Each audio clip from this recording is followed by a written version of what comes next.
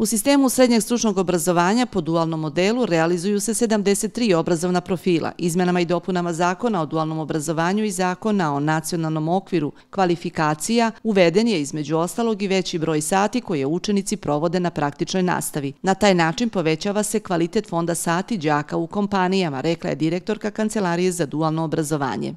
40% za četvorogodišnje profile, što znači da će učenici moći da provode u završnim godinama i do tri dana u kompaniji, dva dana u školi, što je za naše mlade zaista značajno. I ono što je značajno da kažem, ovaj zakon pošto je u primjeni od dana kada je objavljen u službenom glasniku, a već je objavljen, što će svi privrednici imati mogućnost za sve časove praktične nastave koje učenici imaju u školama, da mogu, ukoliko imaju potencijal, ukoliko imaju potrebu da otvore svoja vrata, da će oni u stadu s ovim zakonom to i moći i to je dragocena podrška mladim ljudima.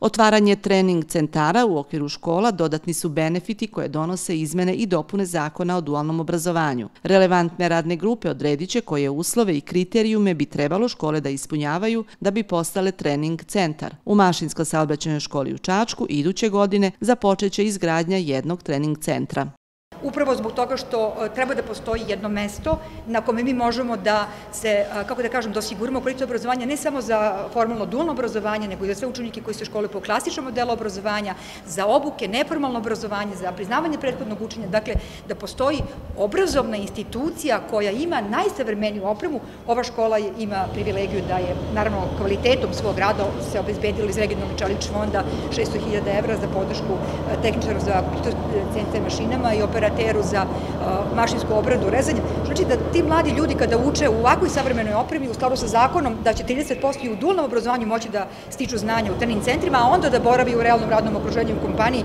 da nakon toga, to su mladi ljudi koji zaista veruju u svoje znanja. Nadležni očekuju da će, zahvaljujući svim ovim uslovima koji omogućavaju sticanje kvalitetnog i stručnog znanja, mladi ostajati u zemlji, a oni koji su već otišli da će se vratiti. Inače, model dualnog obrazovanja u škole u Srbiji uveden je 2017. godine. Od tada su Ministarstvo obrazovanja i Privredna komora Srbije napravili drugačiji koncept upisne politike, rekla je Grujić. Svake godine na osnovu analize tržišta koju sprovodi Privredna komora Srbije mapiraju se profili koji su potrebni tržištu tržištu, što je jedna od prednosti dualnog obrazovanja.